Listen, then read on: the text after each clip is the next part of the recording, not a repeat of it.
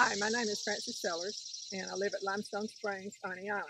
We lived in, I was born in, in Alabama and, and uh, grew up in Tarrant. Uh, we moved to Florida. After we married, we moved to Florida following my husband's work. And when he retired, we moved back here. And we were looking for a small town outside a large town, which is Birmingham. Uh, we discovered Oneonta, and we also discovered the golf course, and we were both avid golfers.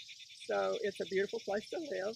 Uh, we love Blount County because of the naturalness of the area and the fact that it's it's uh, country. I've always loved living out near the country.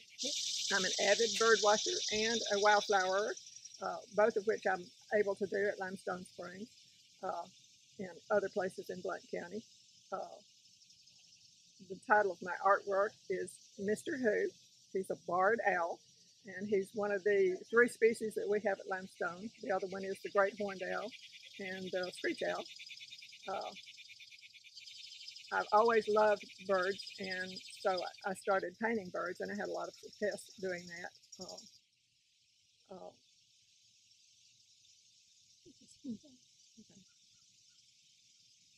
I think it's creativity is a wonderful thing in the in the world, uh, and people who use their creativity in the way of making photos or making paintings give joy to other people.